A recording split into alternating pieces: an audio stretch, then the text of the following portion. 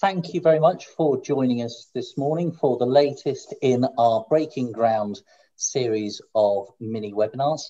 Um, and today we're going to be focusing and talking about mitigation of loss clauses in the context of professional indemnity policies for construction professionals.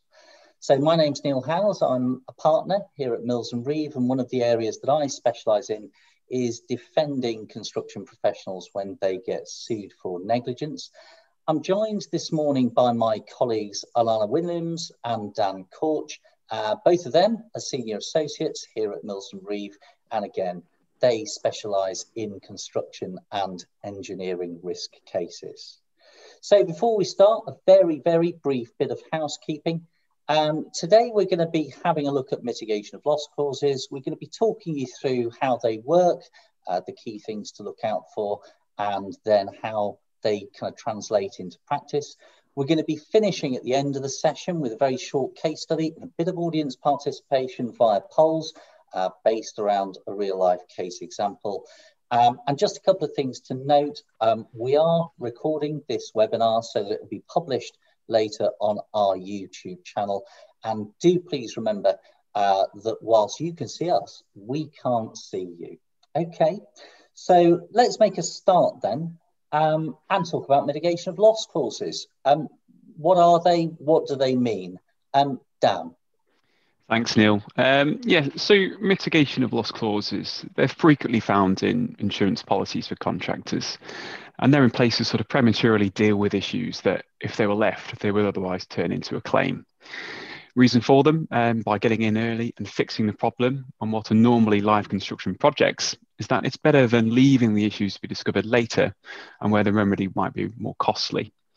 The client's more likely to want the issue fixed by way of remedial works than it is to be compensated, for example, the loss in value in the land or the property. So I suppose in a way there are there are means by which insurers can potentially head off a bigger claim by funding remedial works at an earlier stage. Alannah, what are the potential advantages uh, to doing that? Well, to the claimant employer, there is a benefit in engaging someone who already knows the project and who has the relevant subcontractor and consultant contacts, because this is likely to mean the remedial works will start and complete more quickly. But it does, of course, depend on the strength of the relationship between the parties. Secondly, to the insured, early remedial works are beneficial because it gives the insured the opportunity to preserve the relationship going forward. And to insurers, it allows them uh, an opportunity to have greater control over the costs of the remedial works to ensure the costs are properly mitigated. Okay, so does that mean that an insured's own costs of remedial work are always covered by a policy? Well, it's a good question because, sort of strictly speaking, um, any costs incurred by an insured could fall outside the scope of an insuring clause um, because the cover in the insuring clause is triggered by a claim against the insured. Uh, but costs to mitigate claim by their nature are incurred before a claim is received. Uh, sort of for this reason, PI policies sometimes specifically include cover for mitigation costs, and which allows the insured the opportunity to undertake remedial works, mitigate the risk of a claim being made, or at least potentially reduce the value of the claim that might subsequently be made against them. Okay, so we're going to pop up on the screen now an example of a fairly typical mitigation of loss clause taken from a contractor's PI policy. And what you'll see is that we've highlighted in purple uh, a number of key elements within the, uh, within the clause itself. In other words, I suppose the essential elements that need to be satisfied in order for the clause to kick in and for cover for remedial works to be provided. Um, Alannah, can you talk us through that in a bit more detail? Yes, so the wording of these clauses does vary from policy to policy, but this is a typical example of such a clause. It covers the insured for costs incurred for the purpose of mitigating a claim under the insuring clause or mitigating a likely claim that would otherwise have been covered under the insuring clause. Okay, uh, is it worth just breaking that down a little bit more? Sure. Well, the clause will usually make it clear, as it does in this example wording, that cover for mitigation costs will only be provided where the insured has already notified the matter and also sought insurer's consent before incurring any such costs. Okay, so we talked about the fact that there are various kind of essential elements, if you like, within the clause that need to be satisfied. So it might be worth just having a very brief look at those. Um, the first is about insurer's consent. So you'll see from the wording on the slide that this clause contains an element that says insurers will indemnify the insured in respect of costs and expenses reasonably incurred with the prior written consent of insurers. So, Dan, talk to us a little bit about that. Yes, so, so generally speaking, notifications and consent under a policy of insurance are required to be in writing. Um, so, sort of seeking to contain consent over the phone is normally not likely to be sufficient. Uh, and why would insurers include this? Why do they want to be notified of their consent to be obtained first?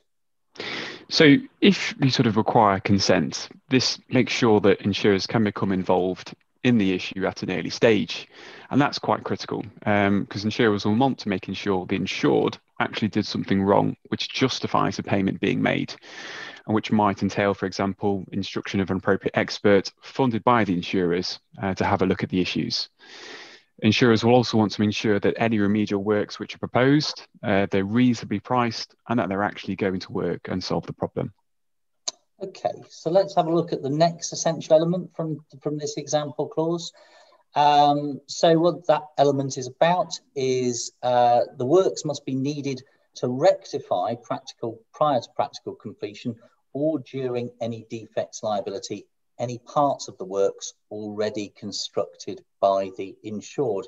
So there's this reference in there to practical completion, defects, liability periods. What does that all mean? Yes, so in this particular wording, there are two periods of time within which the insured can seek to recover mitigation costs. The first during the period before practical completion, and the second during the defects liability period.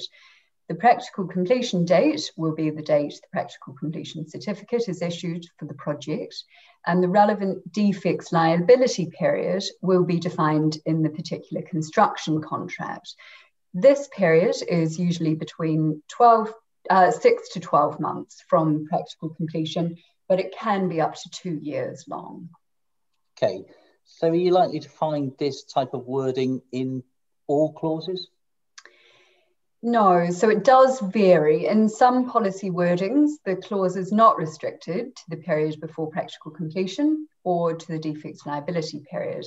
Some wordings allow the insured to claim for costs for works to mitigate a claim or likely claim uh, right up to, say, uh, within the 12 year limitation period from the date of practical completion. So it is important to consider what period is captured by the clause in the relevant policy. Okay. So let's have a look then at the next kind of essential element in the in the example clause. And, and that's the need for such rectification being due to the insured's negligence, which seems quite broad. Um, Dan, can you talk us through that? Yeah, so sort of taking a step back, the purpose of the, these mitigation of loss clauses is to limit the amount which might otherwise be paid under the policy. So as a sort of starting point, when interpreting what we might mean by this phrase insured's negligence, uh, you should look at the insuring clause, and that might help you to determine what kind of claims are normally covered. And what does that mean, uh, I suppose, specifically in this context? Well, professional indemnity policies, they're typically going to exclude claims that arise out of poor workmanship. Uh, and this is sort of something we touched on in our previous Breaking Ground seminar, and that's available back on our YouTube channel. Uh, but sort of a brief summary though, negligence in this context is going to mean a breach of two things. So that's either a contractual obligation, so either express or implied, or it's going to be a duty of care owed in the tort of negligence. Uh, but for this clause in particular, though, it's quite important to note that this extends the negligent acts of subcontractors or consultants who were appointed by the insured. Okay. So we've talked in kind of generic terms about mitigation of loss, but that is also quite an important element of these clauses, as you might expect. So uh, the cost to be paid out must be necessary to mitigate a claim or a likely claim that would otherwise have been insured under the insuring clause. So what are we talking about, Alannah, when we talk about mitigating a claim? Mitigation essentially just means to reduce. So in this context, we're talking about an insured, excuse me, taking reasonable steps to reduce the amount it might be liable to pay in damages. Insurers also want to ensure that the remedial scheme is no more expensive than is necessary, i.e. to mitigate the amount they have to pay. Okay, and um, could cost come into the equation as well? Yes, so uh, cost is definitely a factor. Um, doing remedial works early uh, allows savings to be made, which is of benefit to both insurers and the insured. Um, the insured is very likely to use trusted subcontractors in invoking this mitigation of loss clause and doing early remedial works.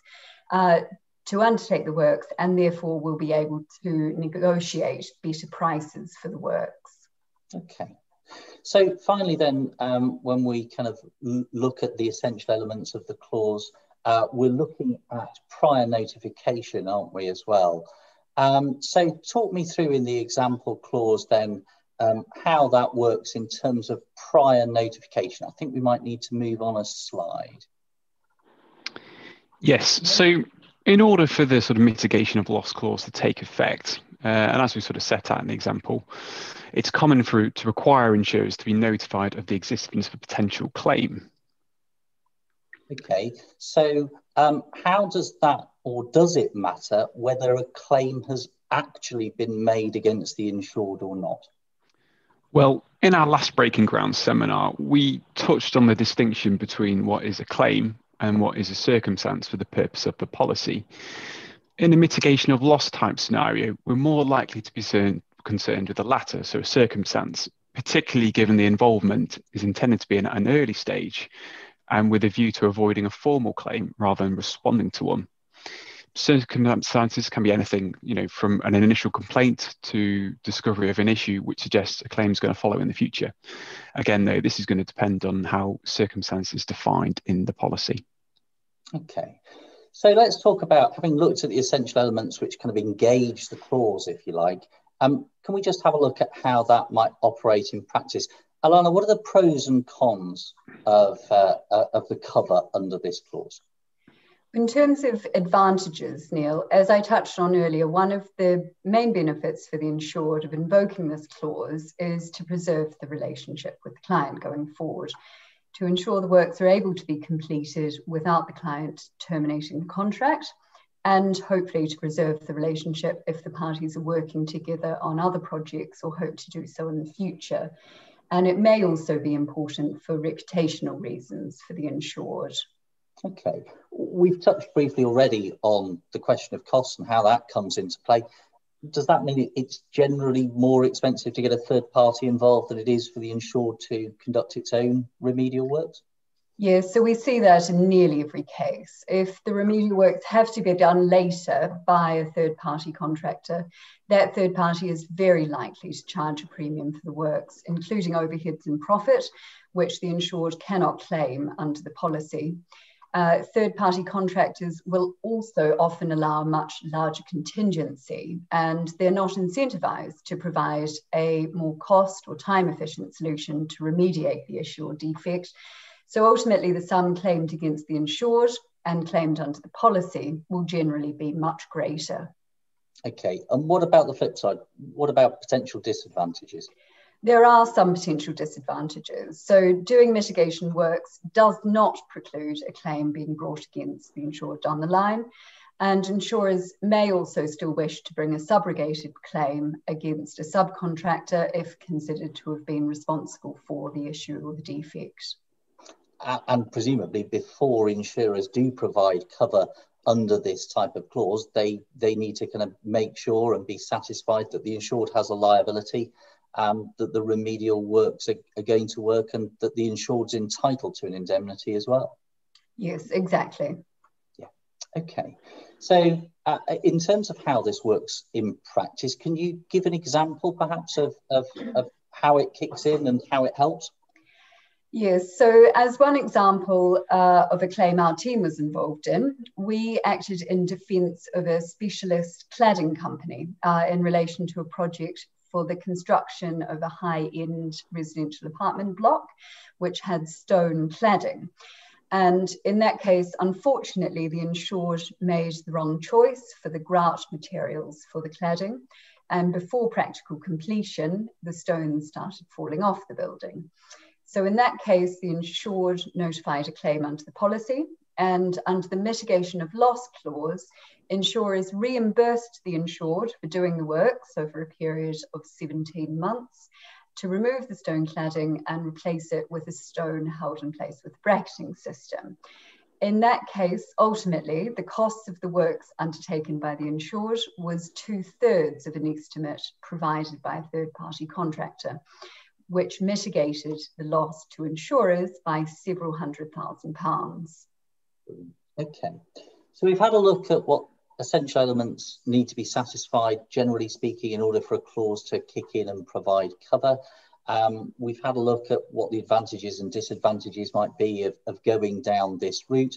Um, we thought it would be helpful to um, finish with a case study because, of course, there are scenarios where it's not always clear um, where the cover is engaged or not, and whether these essential elements in the clause has been satisfied. So the case study that we're doing is arising from uh, a reported case um, called Yorkshire Water, and the insurer on it was Sun Alliance.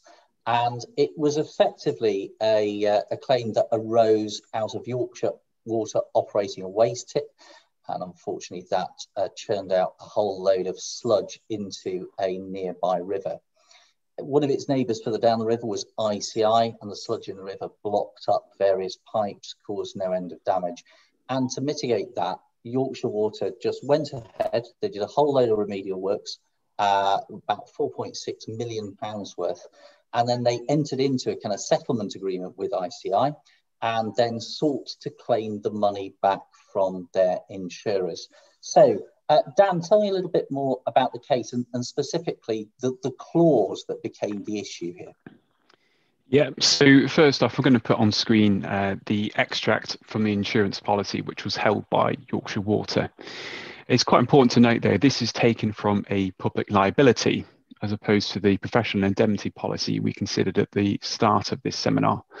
You'll see that this is kind of a very much simpler version of a mitigation of loss clause, but again, there's still a requirement for the insured to obtain insurer's written consent.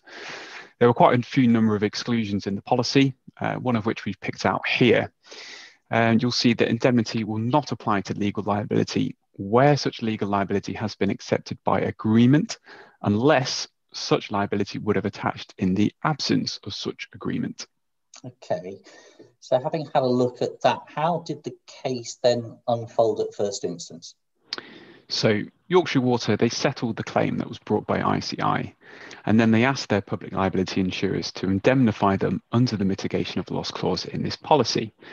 To support this claim for indemnity, Yorkshire Water informed its insurers that the effect of the settlement with ICI meant that liability was established for the purpose of the policy.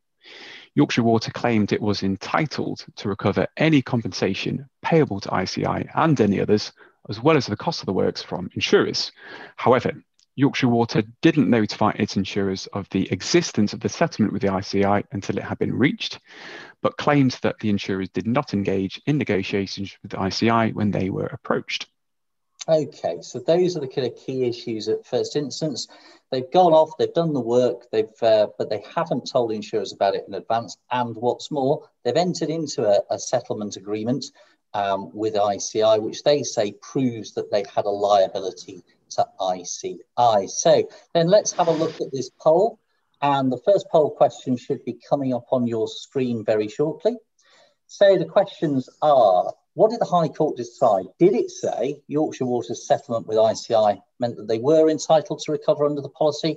Or, despite the settlement with ICI, Yorkshire Water wasn't entitled to recover all of these costs?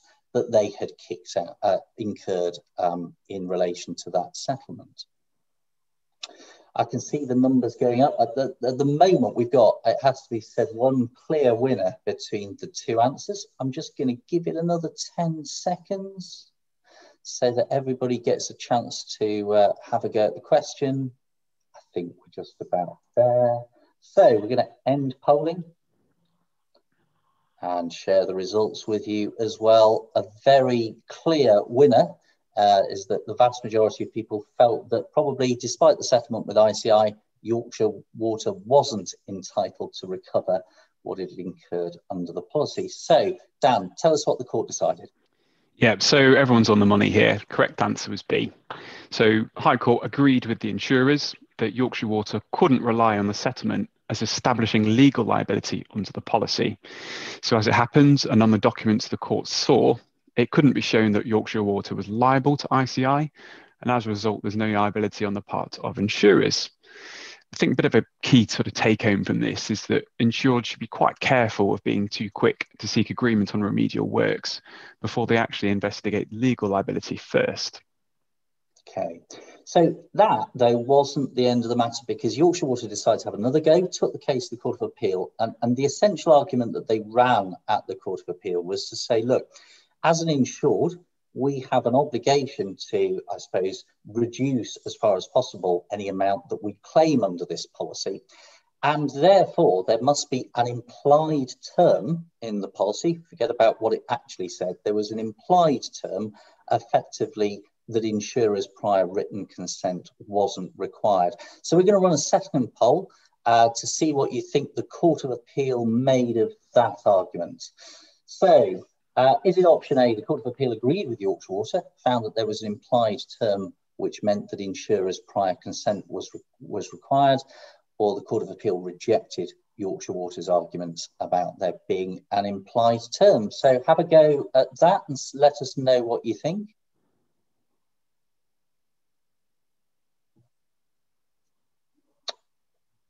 I'm going to give it 10 more seconds just for anybody who hasn't had a chance to click the buttons yet. We have a very clear winner. Um, I'm going to end the polling and share the results with you. But again, the vast majority of you felt that the Court of Appeal rejected Yorkshire Water's uh, arguments. So, Dan, what did the Court of Appeal decide? Yeah, so it was option B again here. So, unfortunately for Yorkshire Water, their arguments weren't entertained by the Court of Appeal. So whilst the decision was sort of based on a number of factors, um, big sort of takeaway here is that the Court of Appeal declined to imply a mitigation of loss clause, which did not require insurers' consent. So best sort of practice for insureds here is always going to be involving insurers at the earliest stage possible in order to make sure they're aware of the issues and that they're in agreement any sums which are paid out. Brilliant. Okay, thanks for that, Dan. Um, that's all we've got time for uh, today, folks. Um, thank you very much as ever for joining us, and we hope that you found this session useful. Breaking Ground uh, is going to be taking a break in August, but we will be back with you in September, uh, where our topic for the day will be dispute resolution methods and uh, construction disputes. And we're going to be looking at things like uh, arbitration and expert determination and adjudication. So we very much hope that you can join us then. Uh, in the meantime, enjoy your summer and have a great rest of the day.